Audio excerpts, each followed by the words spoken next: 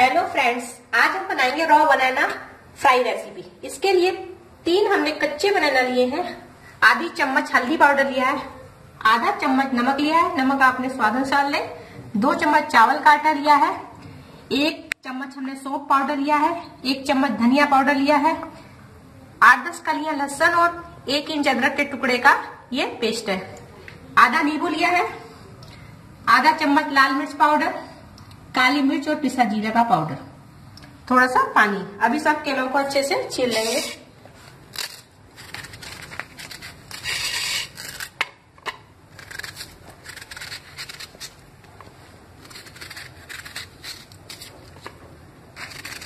सभी केलों को मैं छील लिया अभी इसको कट कर देंगे।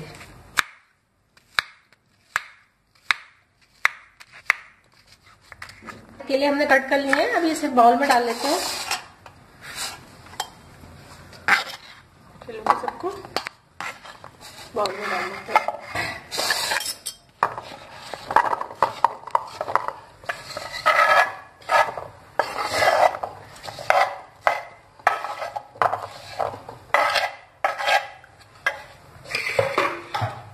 इसमें हम हल्दी पाउडर,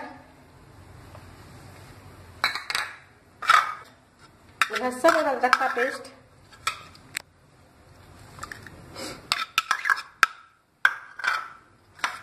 धनिया पाउडर सोप पाउडर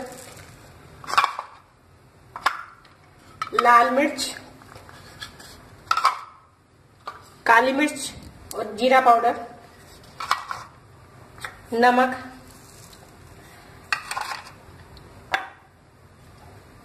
चावल का आटा, नींबू का रस।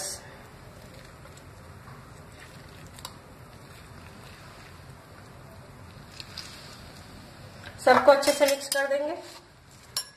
इसमें थोड़ा सा पानी। दो चम्मच पानी डालकर इसको अच्छे से मिक्स कर देंगे। ऐसे मिक्स हो गया है, इसको मैं आधा घंटे के लिए ढक के रखेंगे।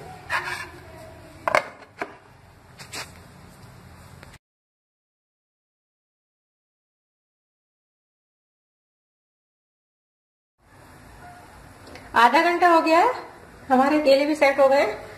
अभी मैंने ये तवे पर तेल लगा दिया है।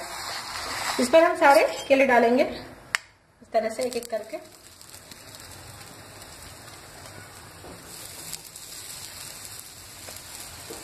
सभी केले हमने तवे पर फैला दिए हैं। इसको हम मीडियम फ्लेम पर पकने देंगे, जब तक ये नीचे से थोड़े कुरकुरे ना हो जाए। एक तरफ़ से हमारे केले बन चुके हैं। इसका चेक करने का तरीका ये है केले को पलट के देखिए।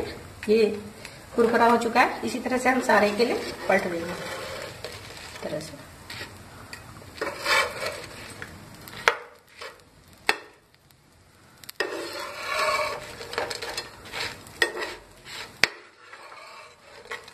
सभी को पलट देंगे। पलट के दूसरी तरफ़ से भी हम पकाएँगे। थोड़ी देर। इसमें थोड़ा सा ऊपर से तेल डाल देंगे। ज़्यादा नहीं डालेंगे। एक दो चम्मच। बस। अभी नहीं पकने देते हैं थोड़ा। सा